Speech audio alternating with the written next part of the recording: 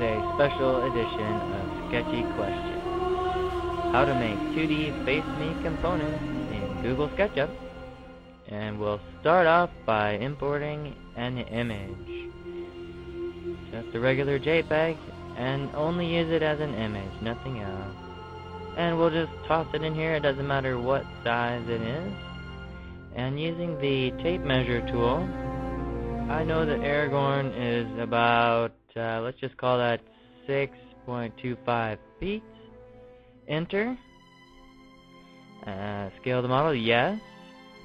There we go. Now we know Aragorn is the right height. And let's explode this. So you see it's just a surface, flat surface, with Aragorn sort of painted on top of it. Now the fun part. We get to trace Aragorn out. And just go really quickly here the first pass. And through the magic of TV, we have one that's done. And erase away the extra lines that we don't need. Okay, and now the even more fun part. You get to trace very closely. Mm-hmm. in and just go quickly. It doesn't have to be really exact. Just use straight lines.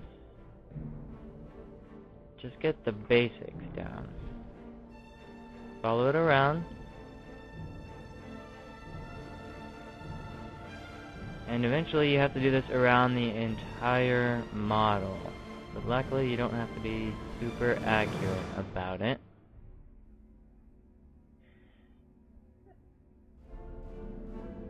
So if we sprinkle a little bit more pixie dust on here, we have an Aragorn that is traced out completely, as close as I wanted it, including all the little cutouts behind his sword and everything.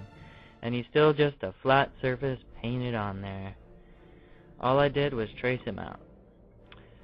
But now I'm going to uh, rotate him so he's standing up. There you go.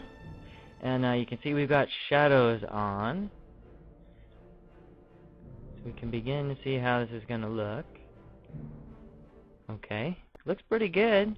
I like the way a shadow looks.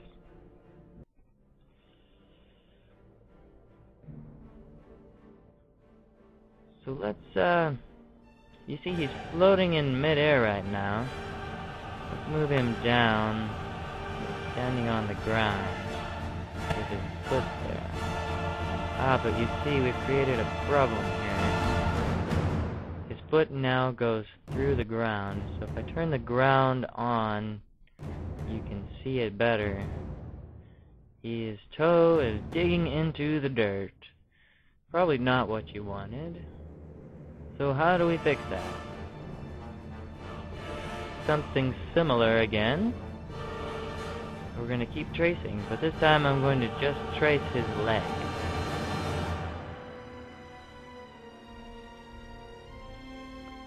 And I'm doing this because I want to sort of cut his leg away.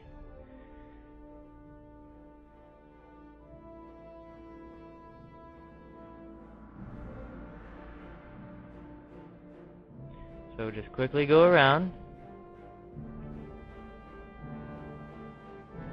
Make sure all your lines are coplanar.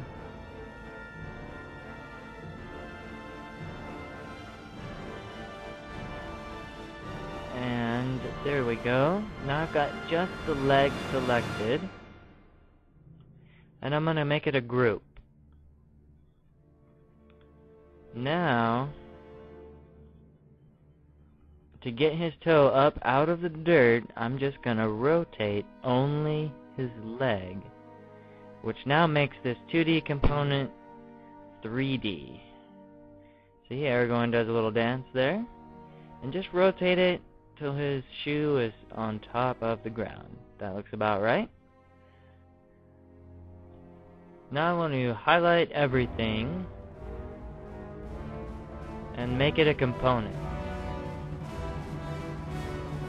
And I will name it Aragorn. I wanted to set it to face the camera always and set the shadows not facing the sun. Now setting the gluing plane there in the center of the component is always a good habit. And now we're done. So there's our component. And you can see he looks pretty good. The shadow looks good, his leg looks pretty good. And as we spin around, he's always facing us. He's tricky like that. But if we look a little bit closer, we can see there's kind of a crack behind his leg there because we moved it out. And the shadow shows that crack also. So let's try to get rid of that. The problem is it kind of flashes as you rotate around sometimes. It's distracting. It looks like something's wrong with your model. So let's fix it. Let's go around to the back of Aragorn. And what we're going to do is just basically make uh, sort of another copy of his leg. So fill that surface back in and reapply the texture there. So we'll just draw that line to get rid of excess geometry just like before. And hide the 3D part of the leg. And we'll just erase these lines that we had on that surface there. Heal all that back together. We don't need them anymore. So if we rotate around and unhide his 3D leg and finish editing the component, you can see from the front the leg looks fine and from the top because there's sort of two legs now it's uh, much less noticeable that anything is going on there. And also the shadow looks perfectly normal too. And it won't flash as you rotate around when you use him other places. So there he is, your finished Aragorn. Let's put him where he belongs. Here he is in this uh, Moria, part of Moria model that I'm assuming somebody JWL uploaded to the 3D warehouse. Thank you very much for that. And also thank you to the 3D Basecamp video where I learned the techniques in this video.